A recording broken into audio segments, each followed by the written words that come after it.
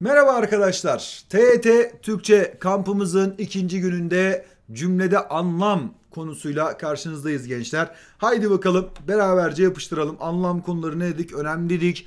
Güzel sorular çıkıyor dedik. Unutma heyecanını kaybetme, coşkunu kaybetme. Kitabımızın başında Einstein ne demişti? Coşku zekadan önemlidir. Güdü- Güdülenmek zekadan önemlidir. Arkadaşlar ne kadar zeki olursanız olun, ne kadar zeki olursanız olun onu bir odaya hapsettiğiniz zaman kimseye bir faydası olmayacaktır. Sen de dahil. Hadi gelin o zekaları çıkartalım. Beraberce kullanalım arkadaşlar. Çok güzel sonuçlar da olsun inşallah. Tamam mıyız? Haydi bakalım devam edelim. Hocam neden sonuç cümlesi? Neden sonuç cümlesi? Hocam bir eylemin hangi gerekçeyle yapıldığını yani nedenini anlatacak. Anlaştık mı? Bakın şuna dikkat edin. Sabaha kadar film izlediğinden derslere vakit ayıramıyor. Neden sonuç, amaç sonuç, koşul sonuç gibi cümlelerde gençler iki tane yargı bulunur. Bir vakit ayıramıyor, bir de sabaha kadar film izlemesi. Hocam bunlar iki yargıdır. Unutma neden sonuç cümlelerinde neden yargısı da sonuç yargısı da gerçekleşmiştir. Yani sabaha kadar film izlediğinden derslere vakit ay- ayıramıyor. Neden ayıramıyor? Film izlediğinden. Bak film izleme yargısı gerçekleşmiş hocam. Sonuç ne? Vakit ayıramaması. Evet vakit, vakit ayıramama işlemi, eylemi gerçekleşmiş. Biz bunlara sebep sonuç yani neden sonuç cümlesi diyoruz. Hasta olduğum için okula gelemedim. Hocam sonucum ne? Okula gelemedim. Hocam nedenim ne? Hasta olmam benim. Doğru mu? Bak hasta olma eylemi de gerçekleşmiş. Okula gidememe eylemi de gerçekleşmiş. Okulların açılmalarıyla açılmasıyla masraflar arttı ya. Sonuç ne hocam? Masraflar arttı. Sebebi ne hocam? Okulların açılması. Doğru mu gençler? Ne oldu? Yine sebep sonuç neden sonuç cümlesi oldu. Şimdi burada öğrencinin aklına takılan bir şey var. Gençler bak şuna dikkat edin. Şuna dikkat edin. Ee, bir cümle sürekli neden sonuç cümlesi olmak zorunda değil. Hani "Aa, hocam burada neden sonuç yok. Yani adam nedenli kurmak zorunda değil cümleyi anladın mı? Veya amaç sonuç cümlesi olmak zorunda değil. Normal bir cümlede kullanmış olabilir. Çocuk her soruya hani bu konu başlığını izlediği için her cümleye her soruya böyle neden sonuç cümlesi amaç sonuç cümlesiymiş gibi bakıyor. Bu yargıyı unutalım arkadaşlar. Hani neden sonuç anlamıyla kurulan cümleler de var sadece. Her cümlede olmak zorunda değil. Hocam neden sonuç cümlesinin karıştığı cümle amaç sonuç cümlesidir. Bak neden sonuçları ne dedik? O iki yargıdan ikisi de gerçekleşiyor dedik. Doğru mu? Amaç sonuç sonuçta birinci yargı gerçekleşmez arkadaşlar. Çocuğumu göreyim diye bu kadar yol geldim. Gençler çocuğumu göreyim diye bu kadar yol geldim. Hocam çocuğumu görme eylemim gerçekleşti mi? Bak gerçekleşmedi. Daha gerçekleşecek. Evet bu kadar yol gelme eylemi gerçekleşti. Burası sonuç. Ama çocuğumu görme eylemi gerçekleşti mi? Gerçekleşmedi. Biz bunlara ne diyoruz? Amaç sonuç cümlesi diyoruz. Kafamı dinle, dinlemek üzere tatile çıkıyorum. Hocam sonucum ne? Tatile çıkıyorum. Hocam neden tatile çıkıyorum? Değil amacı ne tatile çıkmasının kafamı dinlemek üzerine. Çünkü kafayı dinleme eylemi henüz gerçekleşmedi. Eğer deseydi ki kafa, kafamı dinlediğim için tatile çıkıyorum deseydi bak orada dinleme eylemi gerçekleşmişti tamam mıyız? Kızmamak için zor tutuyorum kendimi ya günlük hayatta ne kadar kullan- kullanırız bunları? Ne kadar kullanırız? Kendimi zor tutuyorum. Doğru mu? Bu sonuç hocam. Bunun amacı ne? Kızmamak. Tutmazsa kızacak. Tamam mıyız arkadaşlar? Amaç sonuç cümlesi işte budur. Nedir? İki yargı var. Birinci yargı amaç yargısı henüz gerçekleşmemiş arkadaşlar. Var mı problem? Haydi devam edelim bakalım. Geldik hocam neye? Koşul sonuç cümlesine. Hocam nedir? Koşula bağlamak. Sonucu koşula bağlamak. Yani çalışırsan kazanırsın. Aldın mı subliminal mesajı? Haydi bakalım. Zekanı ortaya koyarsan başarı elde edersin. Bak al sana koşul sonuç cümlesi. Başarı elde etmenin koşulu ne? Zekayı ortaya koymak. Geç kalmanız durumunda sıranızı kaybedersiniz arkadaşlar. Sonucun ne? Sırayı kaybedersin. Sırayı kaybetmemenin koşulu ne? Geç kalma. Geç kalma. Kalırsan kaybedersin. Eve geldiyse bizi beklesin. Sonuç ne? Bizi beklesin. E ne koşulu ne? Eve geldiyse. Tamam mıyız? Kar yağsa da kar topu oynasak. Hocam sonuç kar topu oynasak. Şeyi ne? Koşulu ne? Karın yağması. Büyüklerin yanında oturacaksın ama konuşmadan. Evet koşulum ne? konuşmadan oturacaksın. Sonuç büyüklerin yanında oturacaksın. Ama koşulum ne? Konuşmadan oturacaksın. Daha iyi bir yaşam koşullarına sahip oluruz düşüncesiyle İstanbul'a yerleşmişler. Hocam sonuç ne? İstanbul'a yerleşmişler. Bunun koşulu ne? İstanbul'a yerleşmenin koşulu daha iyi yaşam koşulları. Anlaştık mı? Koşul sonuç cümlesi iki yargı olacak. E, sonuç yargısını koşula bağlayacağız arkadaşlar. Şimdi geldik öznel cümleye. Hocam öznel cümle hani öznel sözcüğü zaten öz kökünden gelir. Özden, özne, özneden öznel olmuş. Kişinin kendisine ait düşünceleridir. Kendisine ait düşüncelerine biz öznel cümle deriz arkadaşlar. Ay bir bacak değiştireyim uyuştu. Mesela divan edebiyatı müthiş söz oyunları ve vecizeler barındırır derken arkadaşlar burada müthiş söz oyunları müthiş. Bana göre müthiş. Sana göre müthiş mi abi? Belki sana göre müthiş değil. Doğru mu kardeşim? Peki bakalım. Bak işte biz buna öznel cümle diyoruz. Masal en güzel yazı türüdür. Çocuklara göre öyledir. Sor çocuklara öyledir. Ama bize göre artık bence öyle en güzel yazı türü falan masal değildir değil mi? Hani bizden biraz geçti derler ya. İstanbul Boğazı'nın seyrine kimse doyamaz. Ben doydum. Ben doydum abi. Yıllardır İstanbul'dayım. Anlaştık mı? Yani bana göre sana göre. Tabii bu mizahı da yani. Bana göre sana göre mevzusu. Sanatçı şiirlerinde söz oyunlarını ustaca kullanmış. Sana göre ustaca kullanmış. Bana göre hiç de ustaca kullanmamış. İşte öznel cümle budur arkadaşlar. Geldik hocam neye? Nesnel cümleye. Hocam nesnel cümle nedir? İşte kişiden kişiye değişmeyen yargılar herkes tarafından kabul eden, ispat edilebilen yargılardır. Divan edebiyatı 13. yüzyılda başlamıştır. Söyleyebilir misin bana 14. yüzyılda başlamış, başlamıştır diye? Bana göre 15'te başladı kardeşim. Bunu diyebilir misin? Diyemezsin. Su 100 derecede kaynar. Evet. Bana göre 90 derecede kaynar diyebilir misin? Diyemezsin. Türkiye'nin 3 tarafı denizlerle çevrilidir. Hayır. 4 tarafı denizlerle çevrilidir. Van Gölü de bir denizdir. Diyebilir misin? Diyemezsiniz arkadaşlar. Vanlılar gerçi söylüyor da. Ee, ozon tabası, taba, ozon tabakasındaki delik her yıl büyüyor. Bana göre büyümüyor. Diyebilir misin? Diyemezsiniz. Ne oldu arkadaşlar? Ne oldu? Bunlar nesnel cümle oldu. Şimdi dikkat et. Şimdi dikkat et. Karşımda kim olsun? Necati olsun mu? Hadi Necati olsun. Necati su 80 derecede kaynar. Dedi. Necati su 80 80 derecede kaynardı. Hocam bu öznel mi nesnel mi? Cevap alayım. Bravo. Bu nesnel bir cümledir. Ama hocam içindeki bilgi yanlış. Kardeş içindeki bilgiye bakma. Necati bunu dedi mi? Ben duydum abi. Duydum. Gayet de duydum. Necati bunu söyledi yani. Ha Necati bunu dediyse olay bitmiştir. Bu nesnel cümledir arkadaşlar. Dedi çünkü Necati yani ben duydum bunu. Tamam mıyız arkadaşlar? İçindeki bilginin doğruluğuna yanlışına bakma. Sen onun dediğini ispat edebiliyor musun? Ediyorsun. İşte bu yine nesneldir. Anlaştık mı? Haydi bakalım gençler. Geldik doğrudan anlatım cümlelerine. Gençler doğrudan anlatım cümlesi başkalarının sözünü hiçbir değişikliğe uğratmadan, hiçbir değişikliğe uğratmadan direkt kendi sözünde kullanmak, kendi cümlende kullanmak. Bakanlık bu süreci hep birlikte atlatmalıyız dedi. Hocam bak burada iki tane cümle vardır. Dedi diyen kim bakanlık bu benim cümlem. Bir de bakanlığın cümlesi var. Bu süreci hep birlikte atlatmalıyız. Bu da bak atlatmalıyız yüklen mesela değil mi? O da bakanlığın cümlesi. Ama bakanlık çıkıp şöyle mi ya ne, neydi? Bu cümlenin direkt kendisini söyledi. Ben bunu hiç değişikliğe uğrattım mı abi? Hiçbir değişikliğe uğratmadım. Direkt kendi cümlemde kullandım. Biz buna doğrudan anlatım cümleleri dedik arkadaşlar. Cicero'nun bir yerde yaşam varsa orada umut da vardır. Sözü çok hoşuma gider dediğimizde hocam bak iki tane cümle Cicero'nun sözü hoşuma gider. Bir de Cicero'nun kendi sözü var. Hiç değişikliğe uğrattım mı? Uğratmadım. Doğrudan anlatım cümlesi. İş çıkışı hep birlikte sinemaya gideceğiz dediler. Hocam bak iki tane cümle var. Dediler yüklem, gideceğiz yüklem. Ne oldu? Ben onların sözünü direkt hiçbir değişikliğe uğratmadan kendi cümlemde aldım kullandım. Ne oldu bu? Doğrudan anlatım cümlesi.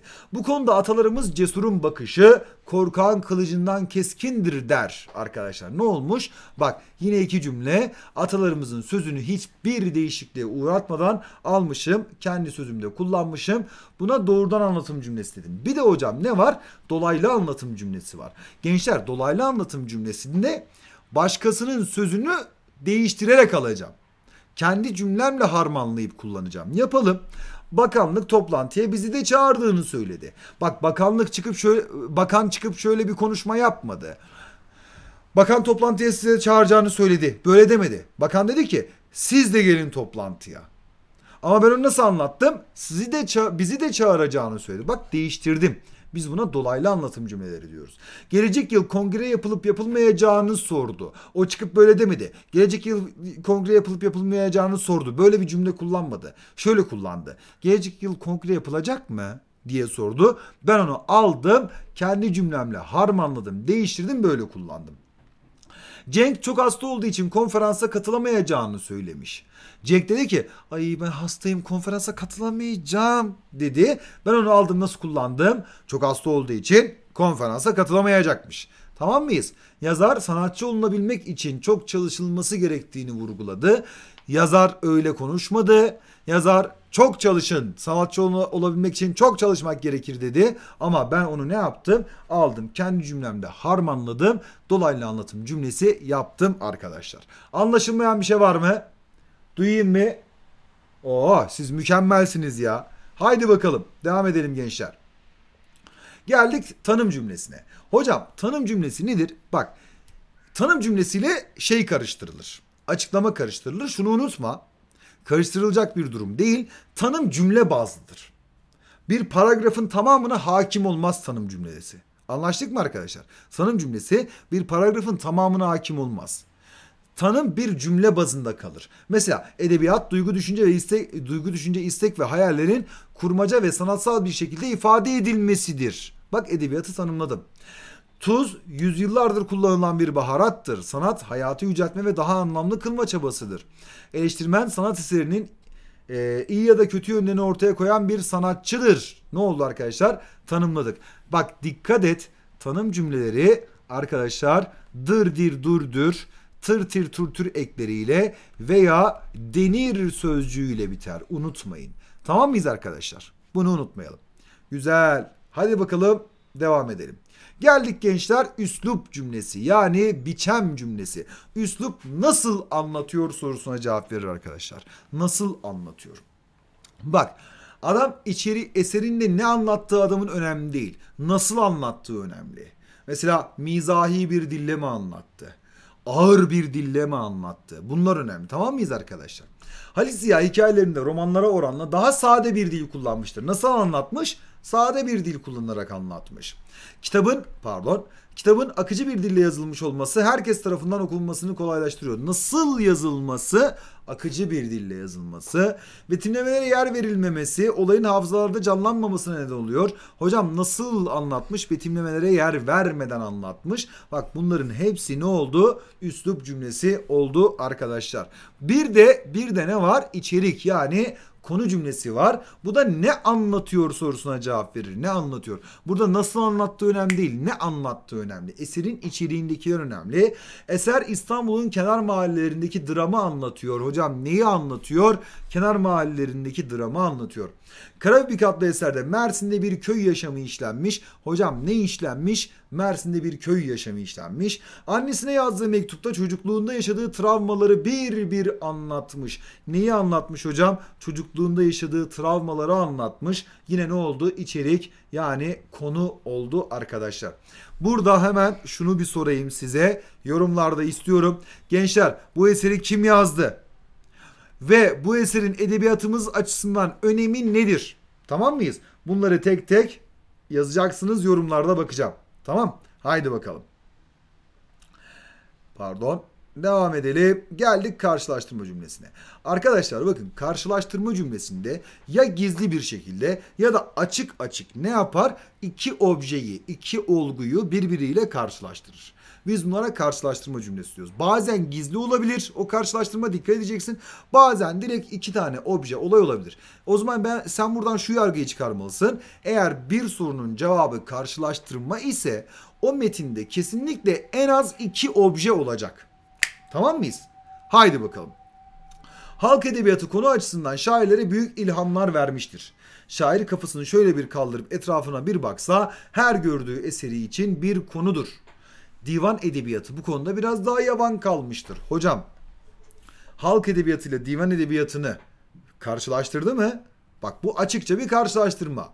Bugüne kadar gördüğüm en güzel rüyaydı. Bak bu gizli karşılaştırma. Nasıl yapmış? Bugüne kadar gördüğüm en güzel rüyaydı. Ne yaptı arkadaşlar? Diğer rüyalarıyla bir karşılaştırdı. En güzelinin bu olduğuna karar verdi. Yeni şiirler, e, yeni şiirler eski şiirlere göre daha anlaşılır dille yazılıyor. Hocam yeni şiirle eski şiiri karşılaştırdı. Karşılaştırma cümlesi bu gençler. Devam edelim.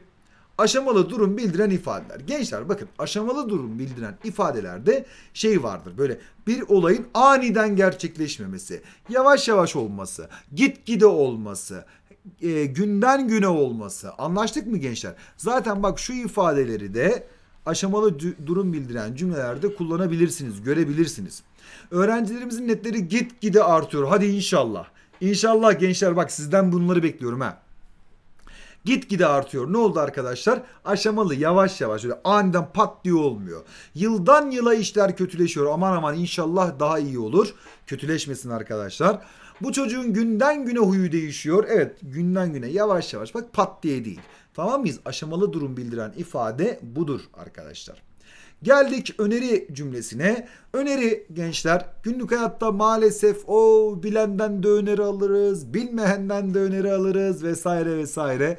Bakalım ders konularını sıraya koyarak ama bizim önerimiz bu olsun. Bir düzen içinde çalışırsanız daha verimli olacaktır. Hocam sana önerim nedir? Bir sırayla çalış. Haydi bakalım. Eğitime yönelik kitaplar ancak okurların anlayacağı bir dille yazılırsa, hazırlanırsa amacına ulaşır. Önerim ne? Hani okurların anlayacağı dille oluştur. Eğitim bu. Herkes anlamayabilir. Al sana güzel bir öneri. Planınızı yeniden gözden geçirmenin doğru olacağını düşünüyoruz. Yine bir öneri daha arkadaşlar. Bak planınızı e, gözden geçirin. Daha doğru olacaktır. Ben pilav mı dedim? Karnım mı aç benim acaba ya? Galiba karnım aç da anlatım bozukluğu olur ha. Karnım aç. Kolum aç. Karnım aç, kolum aç. Yok açım demem lazım veya midem boş mu demem lazım. Orayı bir düşünelim. Anlatım bozukluğunda konuşalım arkadaşlar. Devam edelim. Geldik varsayım cümlesine. Gençler varsayım cümlesi gelecekte olmayan, henüz gerçekleşmemiş ama gerçekleşmiş gibi kabul ettiğimiz cümlelerdir. Ne diyorsun sen hocam? Diyelim ki bu yasa oy çokluğuyla kabul edildi. Sonuçları ne olur? Diyelim ki kabul edildi. Bak daha kabul edilmedi. Diyelim ki kabul edildi. Bak varsayım cümlesi. Geleceğe atıfta bulunur. Gerçekleşmemiş bir olayı gerçekleşmiş gibi gösterir ama henüz gerçekleşmemiştir o. Tutalım ki, diyelim ki, farz edelim ki, tut ki gibi ifadeler vardır. Bir an için ahlaksızlığın ve savaşın olmadığı bir ülkede yaşadığını düşün. Yani bir an için düşün. Şu an öyle değil, öyle olduğunu düşün demek istiyor. Ne oldu? Varsayım cümlesi arkadaşlar. Geldik hayıflanma cümlesine. Gençler hayıflanma böyle üzüntüdür. Üzüntüdür. Kuşlar göç ediyor. Ne yazık ki kış geliyor. Bak kuşların göç etmesi, kışın gelmesi abimizi biraz üzmüş. Ne oldu? Hayıflanmış abimiz. Buraları daha önce keşfetseydim keşke. Ah keşke ah. Ah Ahmet Hoca'yı, Doğu Hoca'yı, ah Açık Lise TV'yi keşke daha önce keşfetseydim diyen arkadaşlara Hiçbir zaman geç kalmadınız falan reklama giriyormuşum.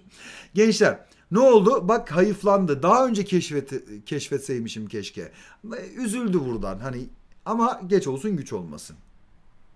Geldik pişmanlık cümlesine. Geçmişte yapılan bir olaya pişman olmak arkadaşlar. Sigara içmeseydim daha güzel bir hayatım olurdu. Kamu spotu. Kamu spotu. Re, e, sigara içmeyiniz. Bırakınız sigarayı. Hocam sigara içmeseydim daha güzel bir hayatım olurdu. Bak ne oldu? Sigara içtiğine pişman olmuş. Ne yazık ki başıma gelenlerin hepsi merhametten oldu. Aga be. Yapma be abi. Ya şu cümleyi kullandırmayın insanlar arkadaşlar ya. Ne yazık ki başıma gelenlerin hepsi merhametten oldu. Yani merhamet ettiği için pişman olan insanlar olmayalım ya. Cümleye bak abi ya. Neyse buradaki pişmanlığı gördük değil mi? Sen yine de cümleyi yazan arkadaş. Cümleyi yazan arkadaş merhamet ettiğin için yine de pişman olma. Merhamete devam et inşallah. Haydi bakalım. Devam edelim gençler. Geldik değerlendirme cümlesine. Değerlendirme cümleleri ne yapar arkadaşlar? Bir eser hakkında, bir kişi hakkında veya bir olgu, bir doğa manzarası da olabilir. Her şey hakkında bir neyi kullanmaktır? Hani e, öznel bir görüş dile getirmektir. Bu sene kış fazla yağış bırakmadı. Bak kışı yorumladı burada, değerlendirdi. Yazarın son eserindeki sade akıcı anlatım eserine farklı bir eserine farklı bir hava katmıştır. Yazarın eserini değerlendirdi arkadaşlar. Değerlendirme cümlesi de böyle oluyor. Öznelliğe burada dikkat edeceğiz arkadaşlar. Peki gençler cümlede anlam konumuzu burada sonlandırıyoruz. Kendinize çok cici bakıyorsunuz. Soru çözüm videosu konuşamadım. Soru çözüm videomuzu da izliyorsunuz. Sonra orada bir ödevlendirme yapacağım size. Ee, sonraki konuyla da görüşmek üzere. Cici bakıyorsunuz kendinize.